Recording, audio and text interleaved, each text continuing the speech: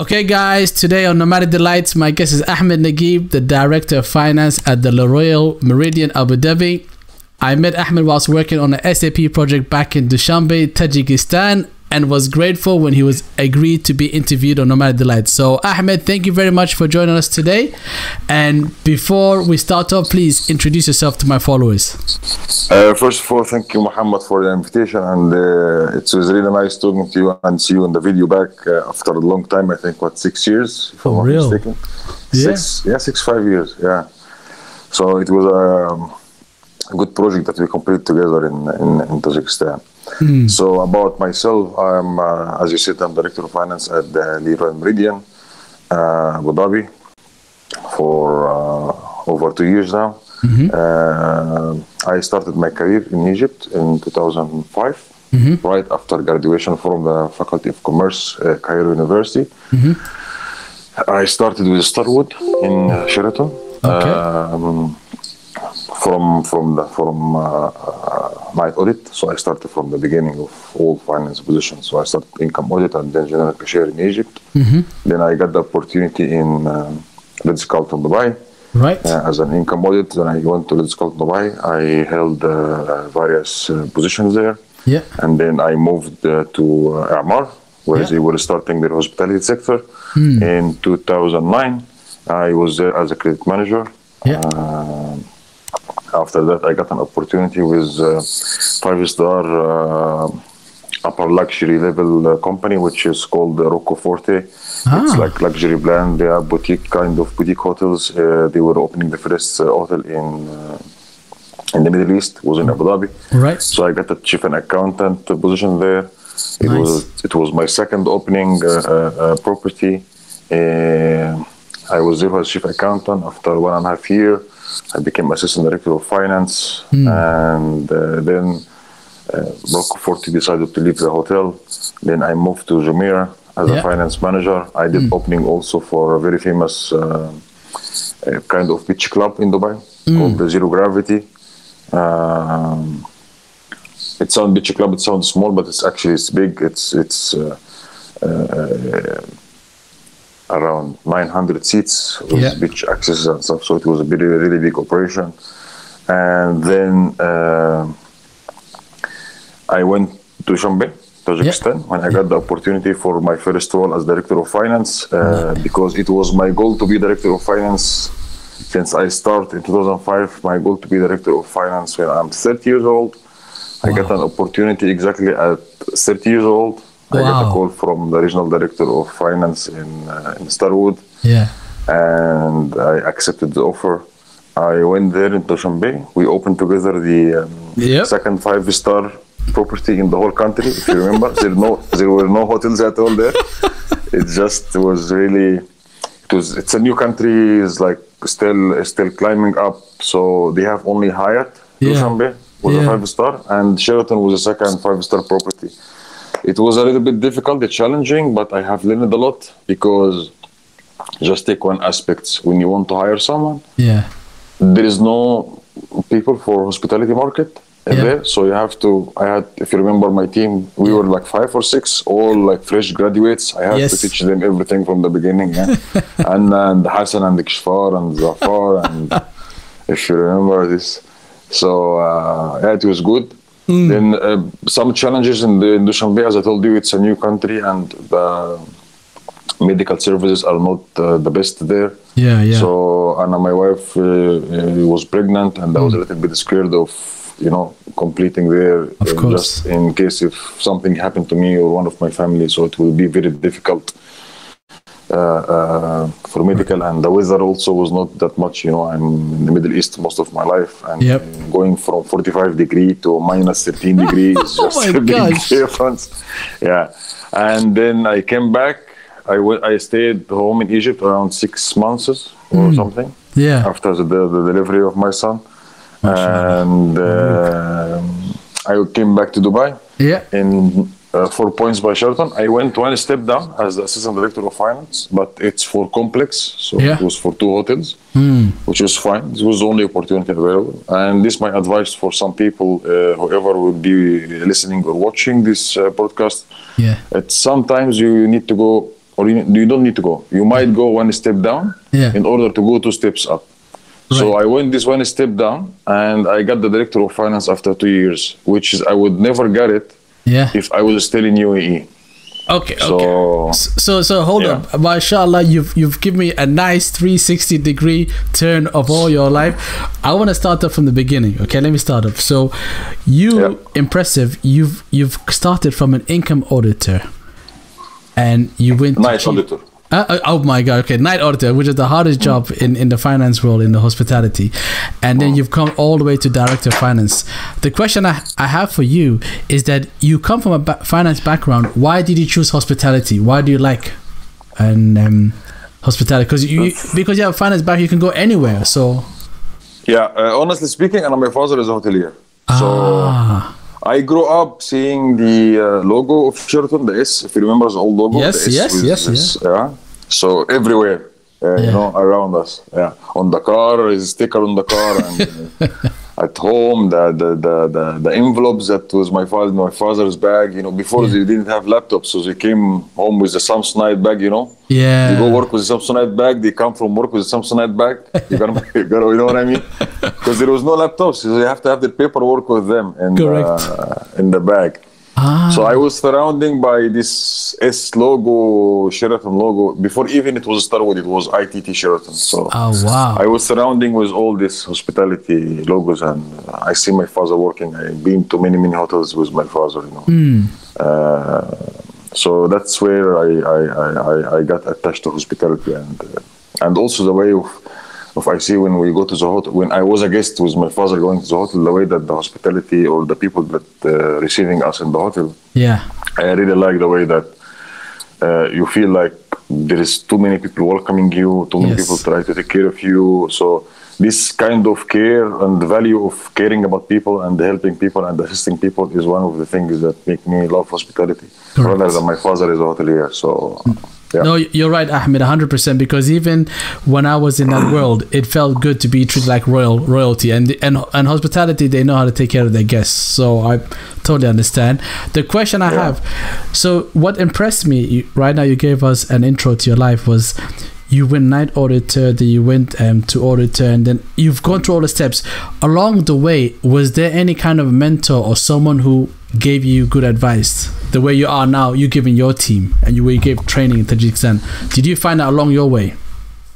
Yeah, of course. Uh, Every place I work, there is a there is a person or two that uh, they affected really, and some of them really affected in my life uh, big time. Uh, when I started in, in, in, in Egypt, I was Yeah. just fresh graduate. I didn't know anything about. I never touched system. I even didn't know how to make save as for an Excel sheet. You know. so these people that I start with them and they they, they, they, they train me. I, I really appreciate what they did with me in, in, in Sheraton in, in, Cairo. Yeah. Uh, but I start to build my character and I start getting into a real hospitality world when I came to uh, Dubai because you you were dealing with uh, you were dealing with um, Different types of accounting or different type no no no the, the, the people the diversity Ah, right. nationalities that I have and all these kind of things correct. Um, so I started getting in contact with, with different nationalities and uh, different way of people thinking in different ways. So I started building my my English. So so I said all this. So I would have some names, of course. As uh, uh, first number one is uh, Mr. Muhammad Arif. Uh, God bless his soul. He is one of the icons of of of, uh, of hospitality in in Starwood and in Marriott. Um, Mr. Baha Abu Zaid, he is now director of finance for uh, two properties for Ritz Carlton in, in Ras Al Khaimah. And uh, Mr. Muhammad Tolba, is director of finance in uh, Al Habtoor complex in Dubai. And uh, Mr. Muwafa Gabar, he was my director of finance in uh, in Rocco Forte, Abu Dhabi. So these four people has really contributed a lot in my in my in my career Yeah. uh, with their advices and and uh, sometimes they were pushing me hard but Yeah. because they believe that I can do more, Correct. uh, which is I understood after that. You know, I, Yeah. at the time I was like, why is he pushing me too hard? Why is he? You know what I mean? Yeah, yeah. Sometimes I was a little upset. You know. Why, why is why for example Muhammad Tolba is treating me that way but I understood that from another person that when he sees a potential for someone he pushing hard so this person can get the most that he can yeah. uh, at work, and it was it was really correct. Uh, I, I was at the Ritz Carlton time was when I was pushed that much. Yeah. I was almost every month. I have a couple of things, or a couple of, or more than three more things new that I create uh, within the work to enhance the, the productivity and also making the work easy for everyone. Nice. So um, yeah, every month two or three things I work on uh, other than my work. You know, Yeah, yeah, something of to course. enhance and help other departments, uh, creating sheets, creating a new process, uh, reducing uh, steps from an older process. You know what I mean? Like Mm-hmm. for example, if something has been done should be done in in seven steps, I try to think away and using the system to make it in three steps. Yep. So everyone will save time, everyone will be happy, every but, but the same result or better result even. So I know. Yeah. I, I recall because even when we were in Dushanbe, your ex- Excel skills were, were top notch. You were showing me quick shortcuts to do, and actually, Yeah. you were always trying to find a quicker way on how to get the information from a system rather than spend. So yes, I, I do recall Exact. those. No, no, Yeah, it's, yeah, it's yeah. uh, but then uh, let me ask you a question because you touched upon it a little bit when you mentioned about how you took a step backwards to get to a director of finance. What I want Yeah. to know if someone is starting out, so let's imagine just like I mean back then when you graduated is different, but now Uh-huh. if I started out, I'm fresh to finance and I want to become working in the hospitality finance, and I know hospitality finance is not an easy place. I mean, the short Yeah. time that I was there, I saw if you don't, you know, shape up, let's just Yeah, say, it's it's 24 it's 24 7 not like other companies other companies are let's say for example closing two days a week for the Yeah. weekend everywhere in the world. Regardless if it's friday saturday saturday sunday. Yeah, they're closing and they work uh, nine hours a day. So after six there is nothing happening in their companies right? Correct. but in hospitality it's different. It's 24 7 you might get a call at 9 o'clock. You might get a call at 11 o'clock. Uh, you might work in friday for closing. So it's different so you are attached with uh, with the work at at all time it's it's running 24 7 you don't close your business right not like normal companies yeah Okay, Ahmed, thanks for that. So now, next question is what advice would you give to someone wanting to enter the world of hospitality? As I know, compared to other industry, it is not for the faint-hearted.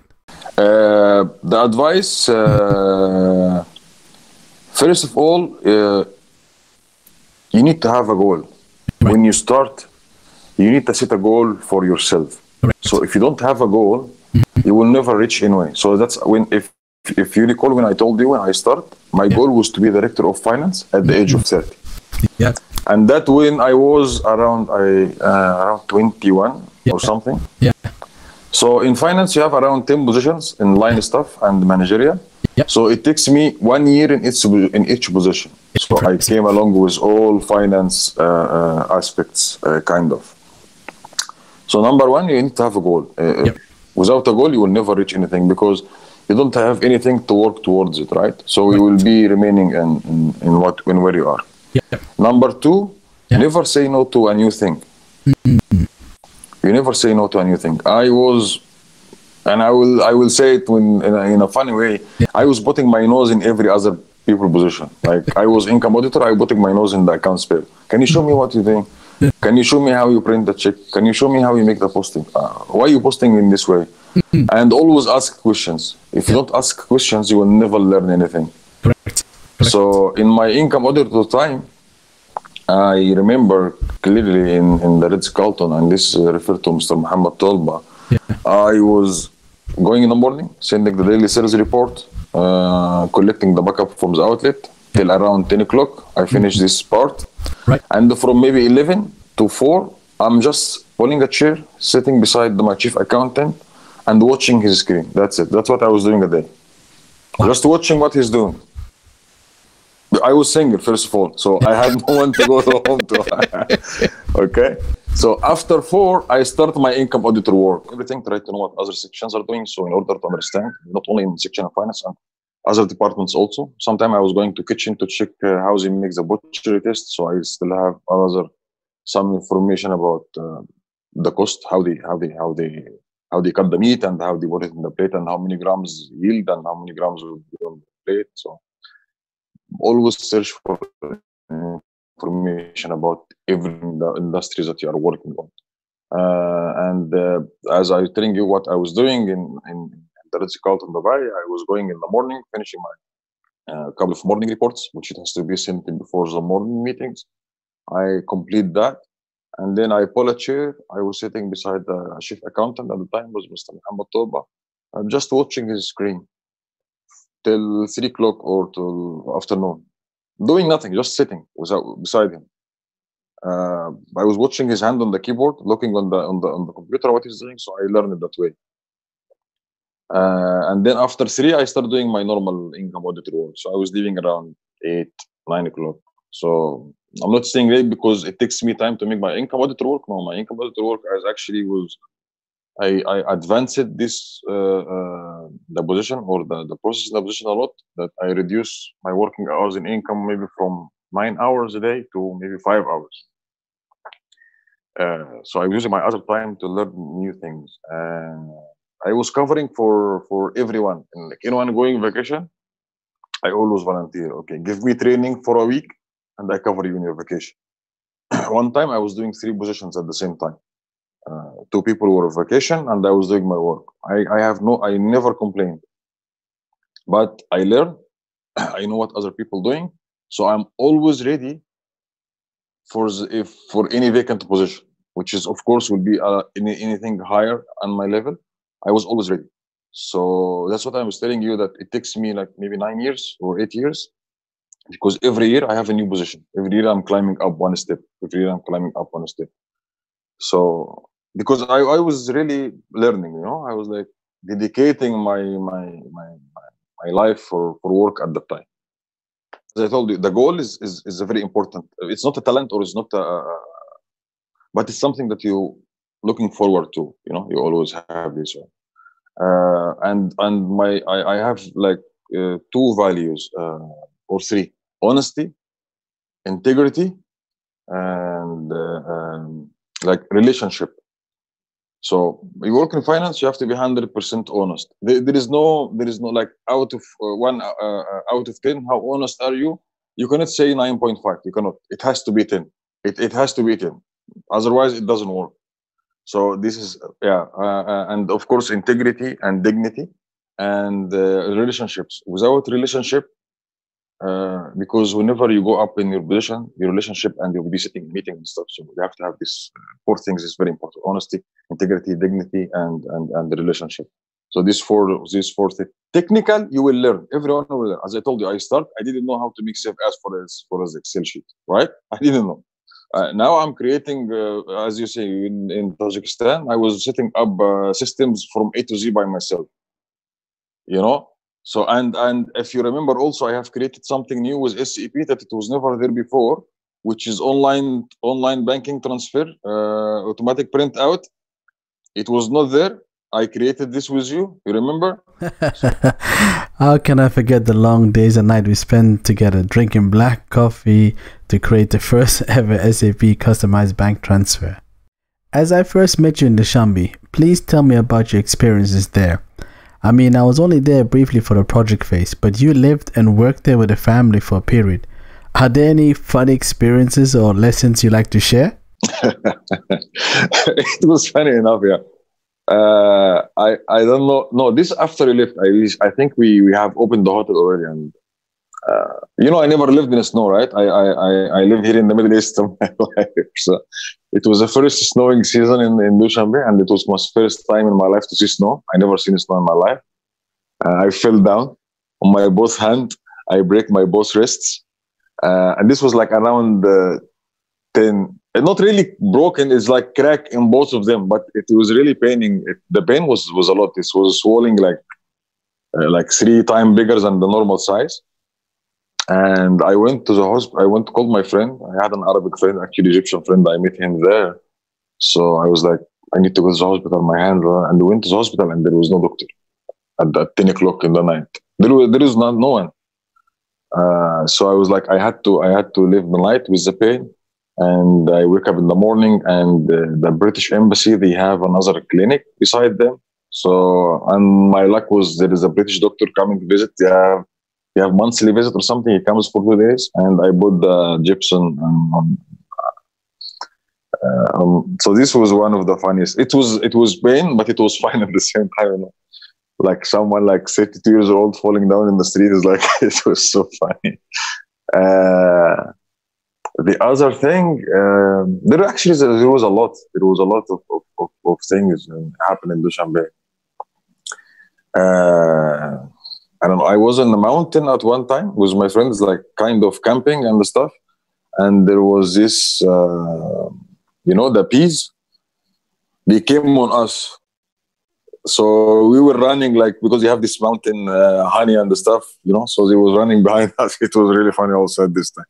So these are two things which is which is was funny. There was a lot of situation but these are two things i really really remember because it was really really funny at the time. Being chased by bees man. Honestly that is funny my friend. That is funny. Okay. When it comes to work and family what comes first for you? Uh, always always you have to put family first you cannot put your work first. Always family first. Always. That's why it's it's it's your time to build yourself when you're single and you don't have responsibilities. Like when you can stay at work till one o'clock in the morning, two o'clock in the morning, working hard because you have nothing. You you you you you just uh, it's you and yourself. That's it, right? So there is no one, and yeah. So it's it's time when you're young and you have no responsibilities to to really build your skills, to really build yourself. And as much hard as you're working when you're young, as much easy it will become when you are older.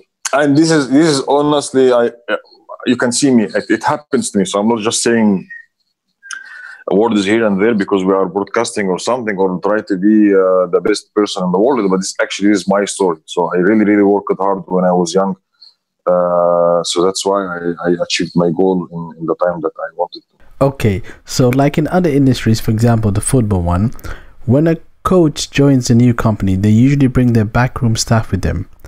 I recall back in the Dushanbe, you had a great finance team supporting you. So when you moved to Dubai, were you able to bring them with you? No, when I moved to uh, to Dubai, uh, I was assistant director of finance. So there was a director of finance at the time for taking decisions and stuff. So uh, I believe that you don't have always to move with your team uh, at all time. Uh, you need to give them opportunity to explore uh, another management style to explore, and maybe later on you can bring them on uh, on board again. So when I started in in, in Dubai in this complex, uh, no, I, I choose to to teach the current team that I, which is all of them were older than me. Some of them were older than me 10 years and they report they were reporting to me. So i was the youngest in, in the team and uh, so I, I choose to uh, to to um, to teach and to, to train them uh, in order to upgrade their level because there were almost I was 80% manual, 20% system. I converted this to 80% system, 20% manual. It takes time for people to change, as I told you, because they are all the old style kind of things, uh, thinking and like uh, like printing from the printing the sheet from the system with data and open the Excel sheet and feeding by hand one by one. While you can extract the file, while you can extract the same report from system and work some Excel tricks and you have it already ready in your Excel without printing and going with the ruler and um, making lines and the cross too much paper. So I converted like it was 80 man 80, 80 manual 20 system. I converted to 80 system 20 manual so I, I, like these kind of challenges and i like teaching people uh, things because that's your legacy that you leave uh, when you leave a place that uh, your stamp or your fingerprint in the in in the space in, in, the place that you're working on that yeah uh, this thing was done by ahmed ahmed has converted this to that ahmed has uh, done this new system. Like for example, I also converted from Sun system in this in this property to uh, the new system, uh, PeopleSoft to Marriott PeopleSoft. Full configuration, hundred percent. I was the champion there, so yeah. So I had to I had I had to convert. I had to teach the people in the system because it's it's high tech. Uh, so yes, so but I I was so happy for my team in Dushanbe that most of them are out of Dushanbe now. Some of them in the Middle East if you remember Zafar, my, my chief accountant, which is he was income auditor before. He was hired as a chief accountant. After what uh, he's learned in Dushanbe, he's now assistant director of finance in Times Square for a couple of properties, I think, in, in US. Yeah, so I think it's it's St. Regis and, and W something like I, if I still yeah if I still remember.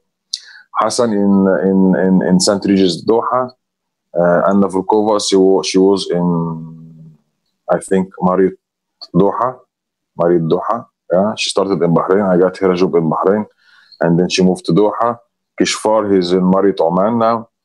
Uh, so all of them are uh, cost controller. So all of them are really, really, really in good places. Like uh, I really, really happy that I have built this team, and all of them like they never put me down. They always, uh, whenever I'm sending someone somewhere, uh, I get a very good uh, comment from the uh, management that for the new places that they are worked. So they are really, really good.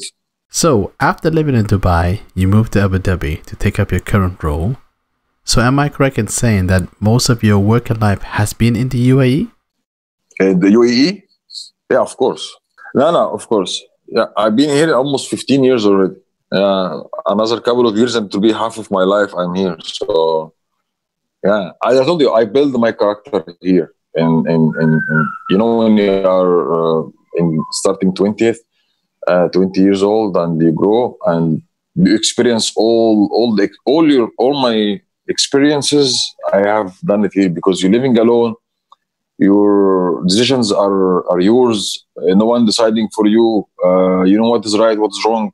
Uh, there's no one watching you you know so you can make a lot of mistakes you can make too many wrong things but i choose to do the good things. I know that no one is watching me. I have my father is not here my mother is not here my uncle my you know not like in egypt right?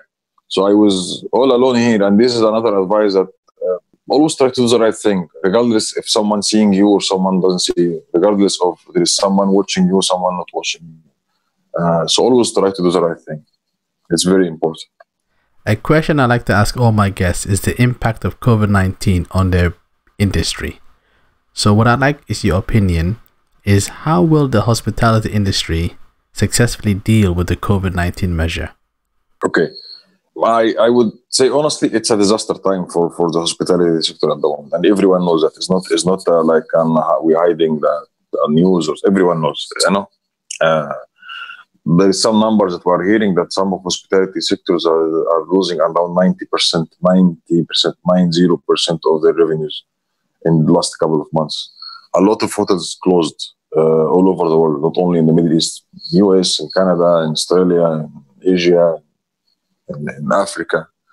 So it's it's like, and the, the, the issue is that we were the first one to, to get the hit, right?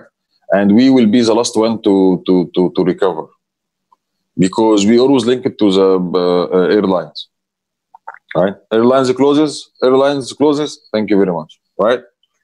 Uh, there are some hotels are like my my my some one of my hotels uh, the hotels that I know is uh, it's like fifty percent uh, the total revenue is 50% is rooms revenue and the other 50% is food and beverage and catering revenue, right?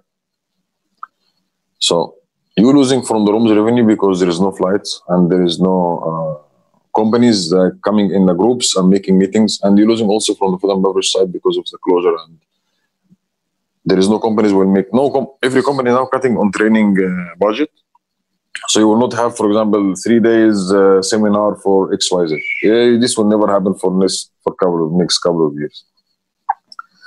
But uh, I've been asking even all my my, my peers, the, the older uh, age than me, uh, have you ever faced this one before? Like this, this, this is a top. This we never faced. Even in 2008 when we had the crisis, it was not that much.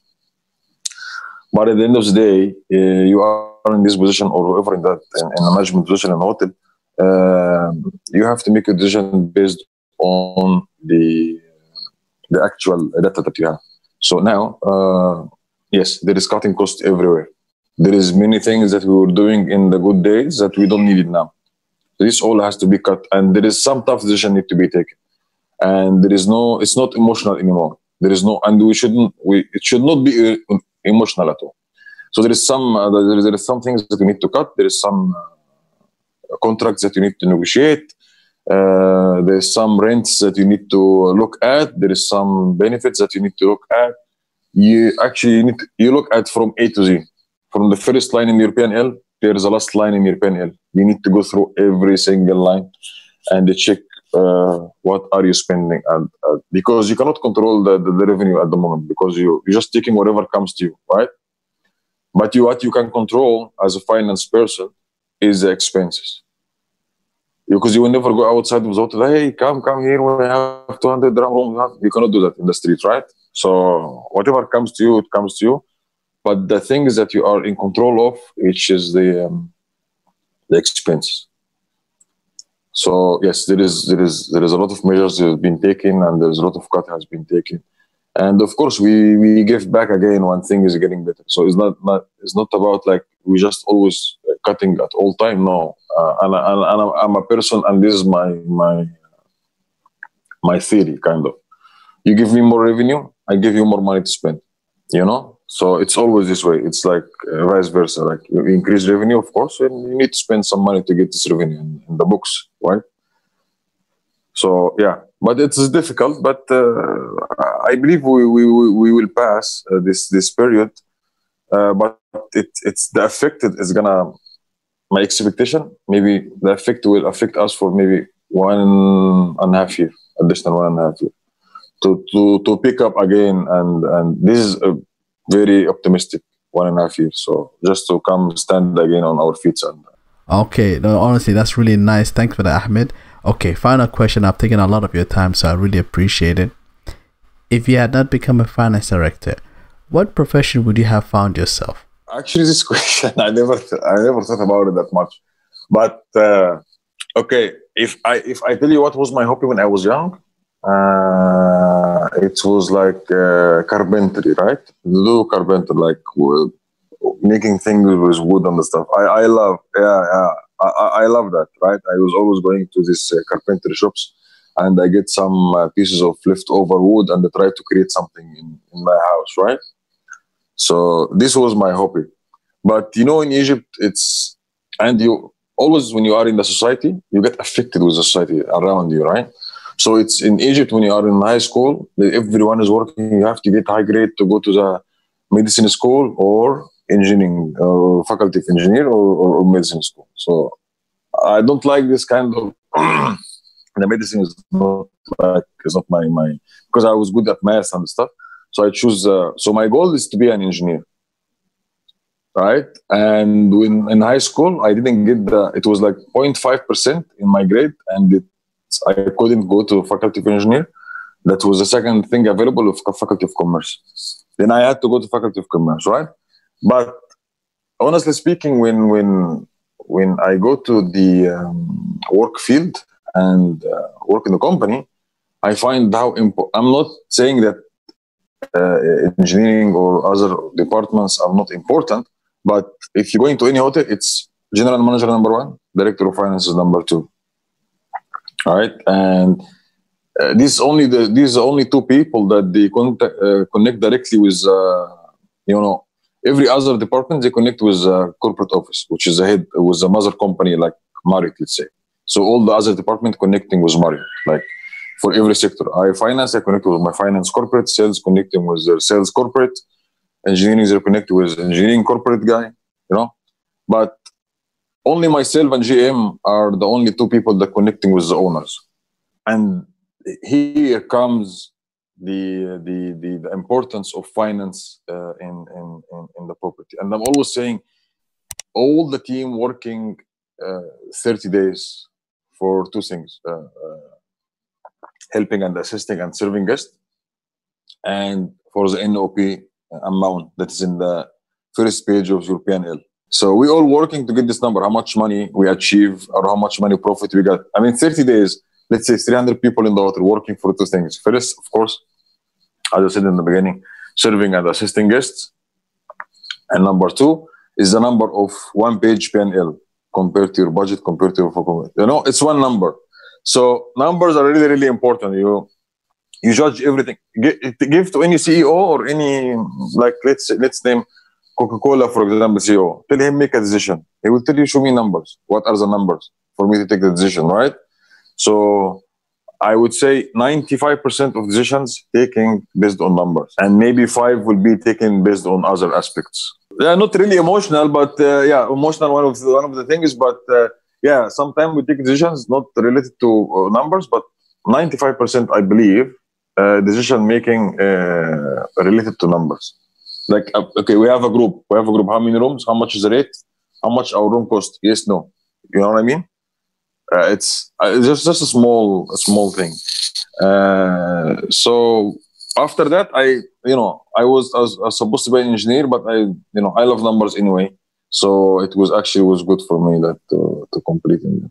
And I have proven myself, and this, this is also another advice that for for whoever listening to us, if if you didn't achieve uh, uh, your goal in something, just try to create a goal in something else and and work towards it and and try to to achieve. So i, I lost in i would say yes i lost i didn't go to the faculty of engineer because you know being an engineer in in our community in egypt it's a big thing. Is the engineer muhammad you know engineer and they have to call you like engineer muhammad. Engineer you have to have the title before. But uh, in finance you will not see you the financial Ahmed. there is no title for it right so everyone was looking for the engineer ahmed engineer uh, you know and even they put it in the business card eng ahmed you know but uh, yeah as a kind of that, that's a community you cannot you know that's where you live you know so i I didn't achieve this goal. So when I went to Faculty of Commerce, I was concentrating a lot. And uh, when I work in hospitality and finance, I dedicated all my efforts and all my, my power and all my time and all my everything uh, into, into that. Thanks for that, Ahmed. One thing that I've always admired about you was your ability to always find a solution to a problem. I especially like the way you use technology to make you more efficient in running your operation. I saw that when I was working with you in Tajikistan, how you're able to, if there's a problem, how can we use systems or technology to resolve this problem. So that's one thing I've always admired about you. Thanks. Thank you. yeah. There is always um, I, I believe there is always there is always a solution for everything. And especially with technology because uh, people saying uh, system no system cannot do this. I was like no system systems can do anything because we did the system. We human being we created the system. So if someone created all this system with all the background coding and everything, he he or she or someone in this company definitely can do whatever we require. Because we as a human being, we did the system. System doesn't do us. You know, system doesn't create us. We we we create systems. So we can do anything with system. So don't believe anyone from any tech company or IT company that telling you system cannot do this. No, system can do anything. It just needs someone to be dedicated, needs someone to believe in the idea, someone to execute the idea. Yeah, I, I, again, you remember, if I'm talking about the wire transfer in the beginning, said, no, we cannot do it. It's not set up in, in, in, in, in SAP, you remember? And while we have the calls and I convincing them and uh, I, I, I have to I have to sell it to them, right? Because they're gonna spend the money getting people working on that, right? Uh, time and, and hours you're gonna spend. So I have I have to also we have to be smart when you're talking to them that I have to say to them like, okay, if you have these options and you're going in in, in, in future, so everyone now is going for online bankings and going for automatic uh, wire transfer. No one will be using the checks anymore.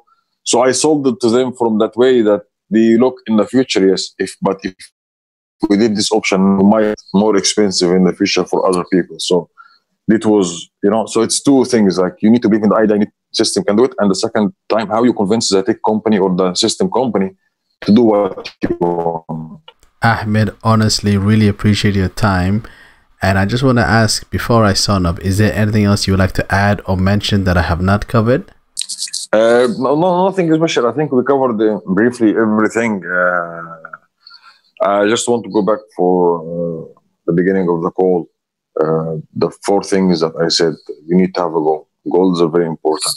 Uh, without goal, you will never reach. You know, and honesty, integrity, dignity, and the relationships uh, are very important. Um, you need to be hungry to work uh, when you're young, so you be comfortable when you are older.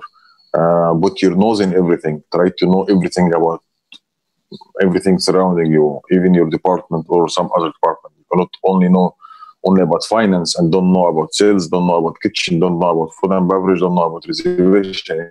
You need to know because when you grow up, you will make decisions and affecting these other departments. So you need to understand what are they doing in order to have the both side of the coin, right? So yeah, and, and always uh, be positive and uh, never resist change uh, be honest and straightforward and don't lie. So this very very important thing is that you for work even in finance or in any other uh, any other uh, sector or any other. Uh, Ahmed, honestly, once again, thanks a million for your time. Thanks again for your excellent advice. I really enjoyed listening all your advice, all your kind of past experience, and all the kind of things that you would recommend for other people. So really, really, thanks again. It was really good catching up, and I really appreciate this. By the way, really appreciate it. Of course, Mohammed. Thank you again for uh, for having this uh, broadcasting after a long time. Uh, uh no, but I see you a couple of years in Dubai, so we're always in contact. But it's good to, to see you again and talk to you again and uh, remember these good days that we had in Dushanbe. So uh, Abu Dhabi or Dubai, just give me a call. I drive them to Dubai. I have no problem. Definitely, I'll hold you to that, Ahmed. Thanks a million for that, and I will definitely give a shout out when I'm next in the UAE. I just want to say thank you for coming on Nomadic Delights. I wish you success for your career path, and I'm sure we'll touch base again. Give my love to the family. Until the next time, you take care, man. Peace and love. Okay. Thank you. Thank you, Muhammad. Have a nice day. Thanks again. Well, that's all, folks. Thank you for listening to my podcast, which is simply the reflections of a nomad consultant living life on a day by day basis. I just want to conclude by saying I appreciate the love and support you guys are showing me. Until the next time, peace and love.